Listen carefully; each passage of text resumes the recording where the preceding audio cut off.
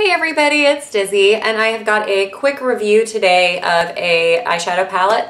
I wasn't actually going to do this review, I was just going to include this in a monthly favorites, but then I didn't do my monthly favorites and I feel like this palette is, with the holidays coming, it would make such a good gift. So I wanted to go ahead and talk to you guys about it and show you some swatches.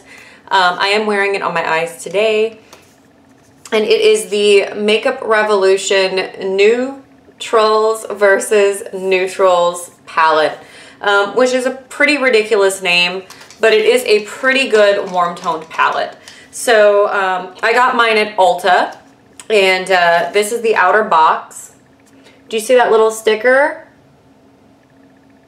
So that sticker is the only way you can even see the color when you get it at Ulta. My Ulta did not have any um, testers of this palette. So it was a little bit of a gamble to see if I would like it. I had seen a couple people talk about it um, on YouTube. So I'd seen some swatches. But even then, you know, it, it's different when you see something in person.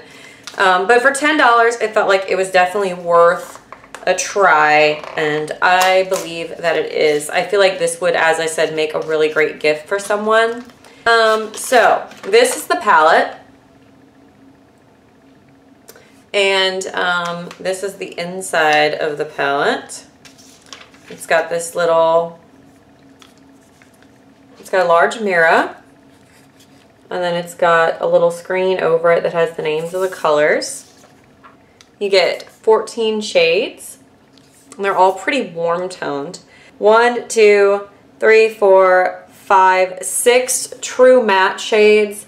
A couple that are sort of satin finish and then a couple that are actually really pretty shiny.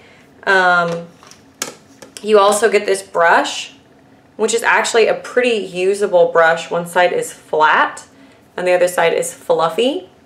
Um, and as I said, it's very soft and it's actually pretty usable. I used it um, as part of my eye look today. Um, and I am wearing this palette and only this palette on my eyes.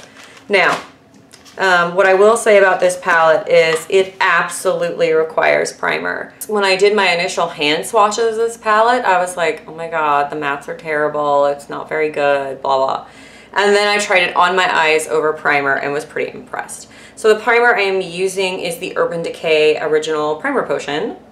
So I'm gonna start, I'm gonna do the whole top row, starting from the lightest color and moving to the darkest. So that's the first shade. And can you see when it goes off, that's it on the primer and that's it without. This is the matte shade. You can really tell when this is on primer. Yeah, do you see? There it is on primer and that's it without the primer. So this is the third shade at the top. This is a sparkly peach. And I have that on the inner corner of my eye today. This is a darker peach on primer and off. And that is on the center of my lid today, right there. And do you see that it's like, it's not that sparkly on my lid. So when these are kind of blown out and diffused, they're not the sparkliest finish. This is a matte brown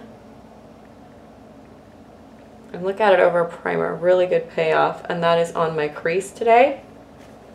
So right through there. The next one is a really pretty color.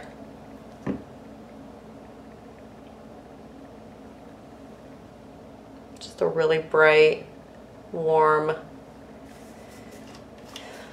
hot coral, I guess. This one is more of a red.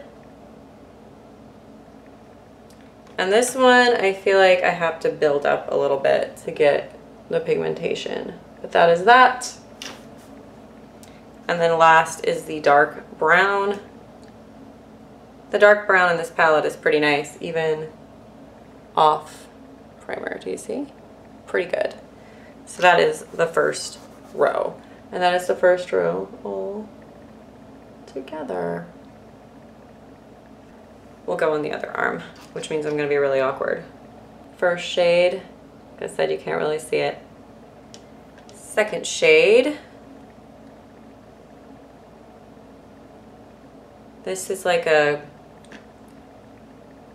champagne glitter. Kind of a sparkly champagne color. It's really pretty. This is a kind of a rose. It's a rose shade. This is a copper. And this one's a little dry and flaky. Some of these are, but that is the copper. Another neutral. This is like a neutral pinky beige. Another transition shade. This is sort of a taupe brown. Taupey brown. A dark brown that's a little cool toned actually. I almost feel like the second row is just a tiny bit cool toned. There's that. And then finally there is this sort of blackened brown with red glitter. And the red, red, red, red glitter does kind of translate. So there you go. That is the Makeup Revolution um, New-trals versus Neutrals palette. As I said, I feel like this is a pretty good value for money. I think this would make an amazing um, gift for someone that was maybe just needed a stocking stuffer or something small and they were a makeup enthusiast.